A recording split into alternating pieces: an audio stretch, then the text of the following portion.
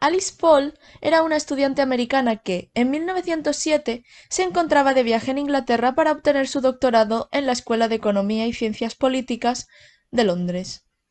Alice entró en contacto con las ideas de la WSPU a través de un discurso público de Christabel en la Universidad de Birmingham. Inspirada por sus palabras, se unió a la organización y a sus actos de acoso político en 1908. Alice fue arrestada y encarcelada tres veces, pero por suerte esto formaba parte del plan. La organización de la WSPU había encontrado una forma de explotar el sistema judicial inglés con fines publicitarios, y para entonces entrar y salir de la cárcel cada pocos días era una ocurrencia habitual para sus miembros. Las penas eran generalmente de pocos días, y las Pankhurst contaban con el apoyo de los Pethick Lawrence, que pagaban religiosamente las fianzas de los miles de arrestos que se produjeron en ese periodo de tiempo. Durante el verano de 1908, alentadas por su impunidad, las Pankhurst diseñaron una campaña de vandalismo que recrudecería el nivel de agresión de su activismo. Su objetivo era crear un clima tan insostenible que los políticos ingleses se viesen obligados a ceder a sus exigencias.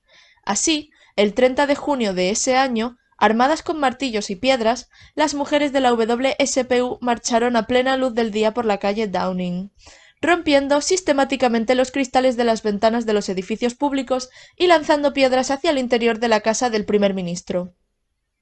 Este evento marcaría el inicio de una guerra extraoficial entre el gobierno y las sufragistas de la WSPU.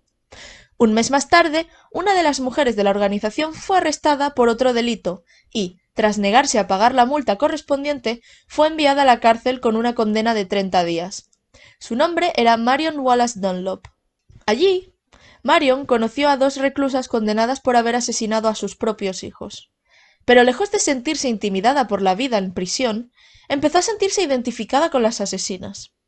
Marion consideraba sus condenas como una especie de injusticia que la sociedad había cometido contra ellas, y escribió en su diario de acuerdo con sus convicciones previas, que el sistema social forzaba a las mujeres a escoger entre morir de hambre o la prostitución, y que los hijos de estas mujeres eran una terrible condena adicional que habían recibido. En su mente, Marion veía los asesinatos cometidos por sus compañeras de prisión como un acto de piedad, llevado a cabo para proteger a sus víctimas de la crueldad del mundo. En este estado de delirio político, Marion le escribió una queja al alcaide de la prisión exponiendo que debería ser considerada como una presa política, que por lo tanto le correspondía el derecho a ser alojada en una estancia de primera clase en lugar de con los presos comunes, y que además se negaría a comer nada en absoluto hasta que eso sucediese.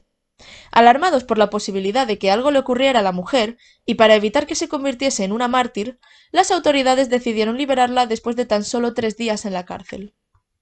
Como resultado, las sufragistas aprendieron que podían cometer cualquier delito que quisiesen, declararse en huelga de hambre inmediatamente después de ingresar en prisión y, como consecuencia, ser puestas en libertad sin tener que cumplir con su condena. Y eso fue exactamente lo que las Pankhurst les ordenaron hacer a sus seguidoras.